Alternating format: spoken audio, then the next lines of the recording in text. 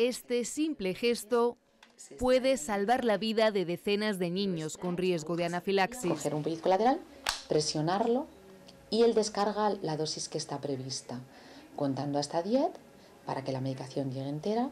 se extrae el inyector, se masajea la zona para absorberlo y ya está. La SEICAP, la Sociedad Española de Inmunología Clínica, Alergología y Asma Pediátrica, lanza la campaña Un colegio, un botiquín, una adrenalina para concienciar sobre la necesidad de incluir al menos dos autoinyectores de adrenalina en los botiquines de los colegios para tratar las reacciones anafilácticas en los más pequeños. La campaña está previsada para que en los centros donde existan niños eh, con anafilaxia, que tienen su diagnóstico, dispongan de los autoinyectores de adrenalina en el centro y alguien que eh, sepa administrarla, para niños que no tienen capacidad de administrársela ellos solos. Son eh, jeringas precargadas, las dos disponibles en el mercado son estas y son relativamente fáciles de utilizar. La ventaja clara es que si un niño sufre una anafilaxia en el centro escolar,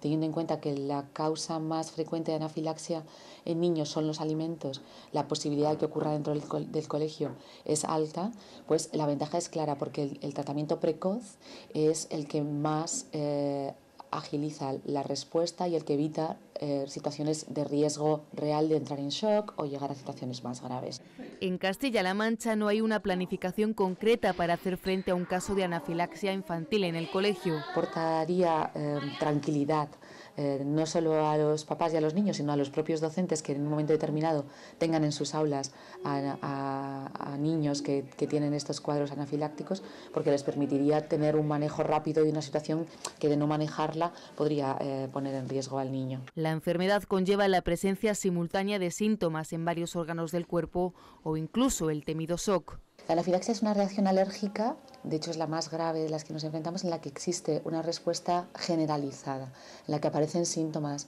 a varios niveles, tanto cutáneos, respiratorios, digestivos o incluso cardiovasculares. Y la suma de todos estos factores, en la situación más grave de la anafilaxia, sería el shock anafiláctico,